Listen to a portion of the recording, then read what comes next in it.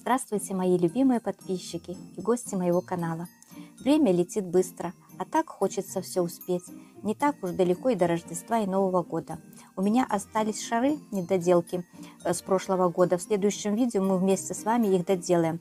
А сегодня я хочу показать, э, как можно сделать и из чего можно сделать кисточки, то есть украшения к нашим работам. Они могут пригодиться не только к Новому году, а вообще э, можно украшать и работы, можно повесить где-то на комод, украсить детскую комнату, э, можно подарок украсить кисточкой.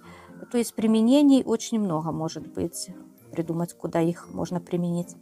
Вот. Э, есть, конечно, покупные кисточки. Вот. Потом, например, вот у меня есть сережки вот такие. Они мне достались бесплатно, подружка отдала. Вот, но они в основном вот как-то вот серые и черные. Вот есть фиолетовые, розовые вот такие есть как маленькие. Так, вот такие средние.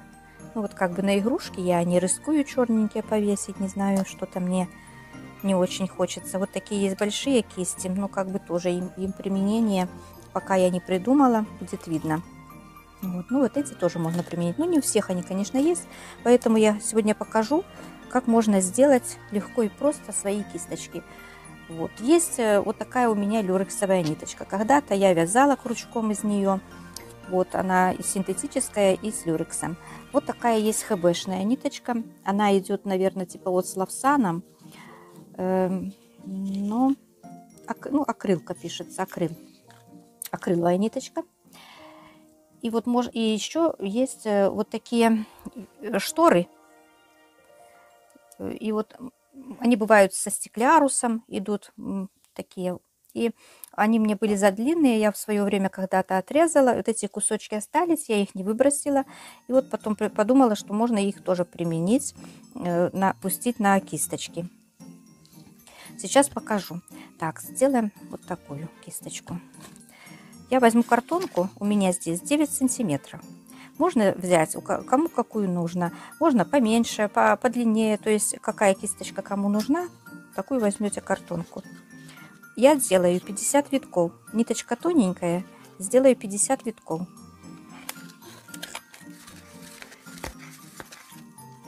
Пятьдесят.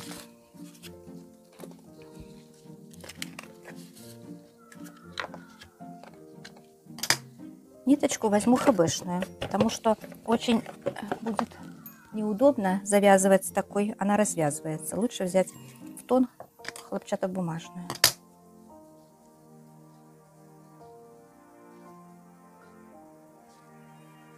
Буду в две складывать, чтобы она покрепче была.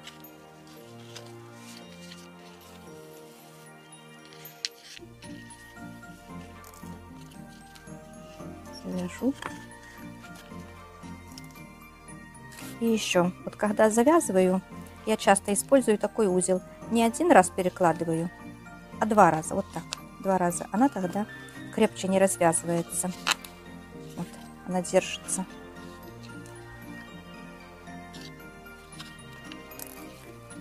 Так, сейчас обрежу.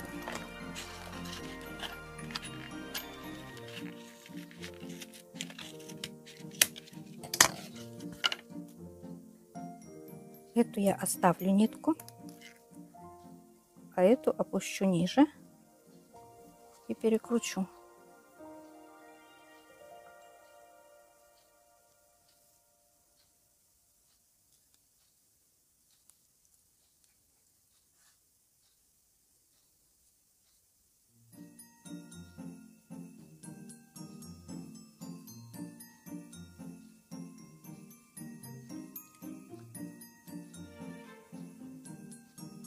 Если мы сюда ничего одевать не будем, значит я бы оторвала бы нитку завязала бы отдельно.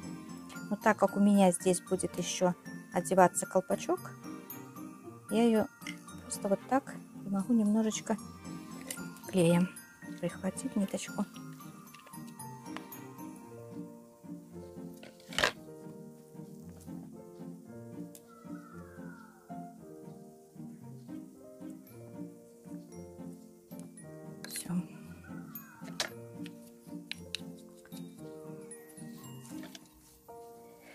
Сейчас есть вот такие разные штучки.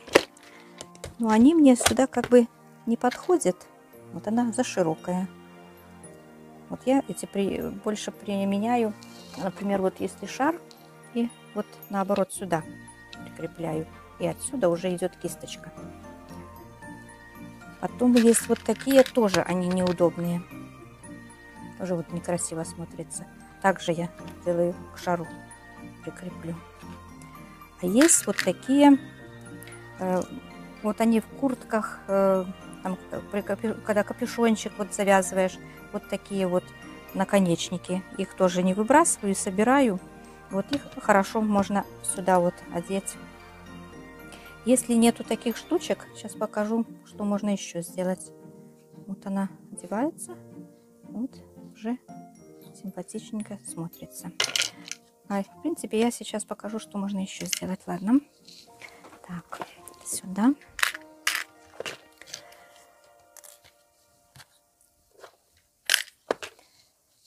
Вот, например, кружево. Вот остаются кусочки. Ну, правильно, можно там, например, вырезать цветочек, где-то применить, приклеить как аппликацию куда-то. А можно применить и сюда. Вот я, наверное, сейчас сюда и применю.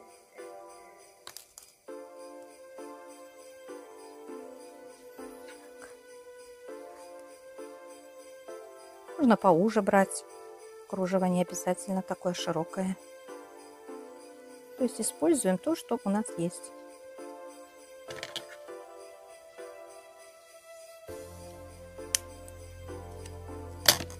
Это можно было бы использовать.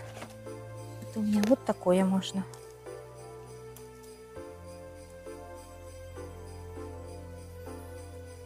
Если это будет такой вот исполнение тоже будет неплохо. Я уже начала, сделаю с кружевом. Значит, я соберу его здесь.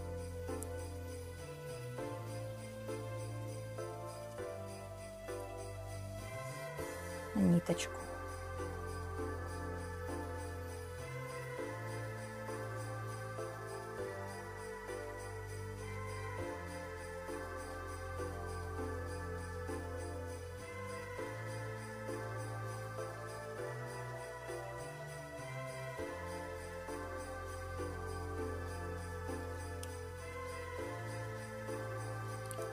Здесь прихвачу.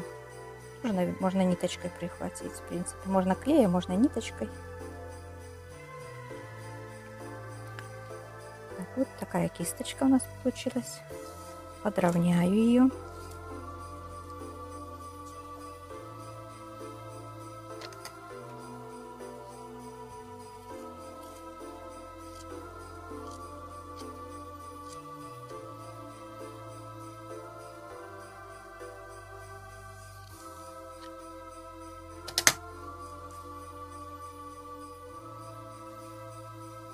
Ниточку оставлю, потому что я потом не знаю, куда буду ее применять. Пускай ниточка будет. И вот так положу ее. Так, дальше сделаем.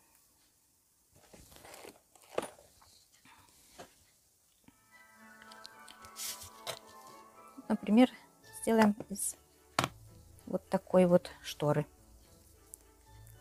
Это у нас идет уже потолще. И она будет толще, чем вот эта кисточка. Поэтому мы сделаем здесь не 50, а 40.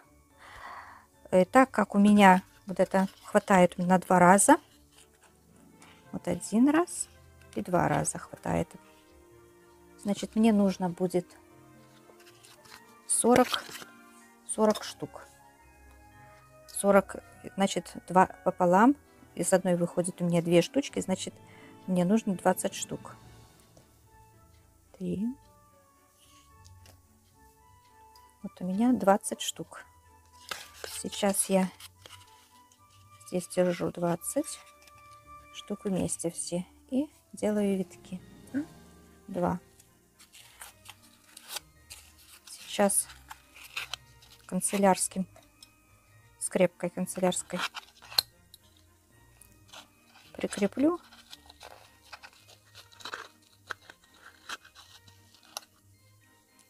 Также закрепим.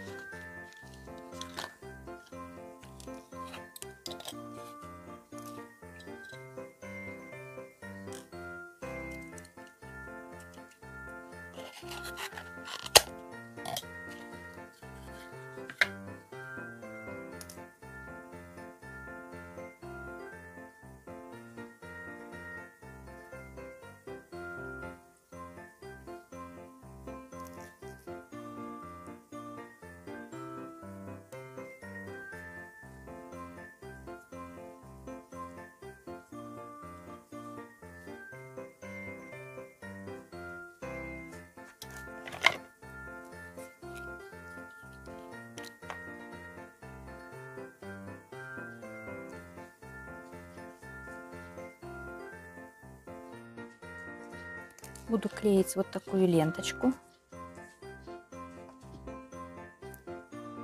И буду клеевым пистолетом клеить на горячий клей.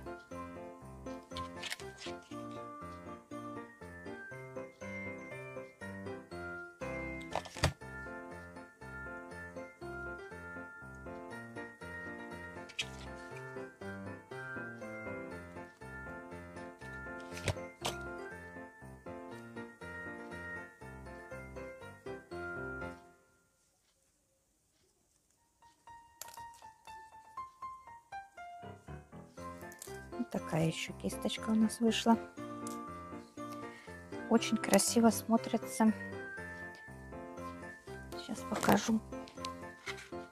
Вот такая. Вот в шарах она как смотрится.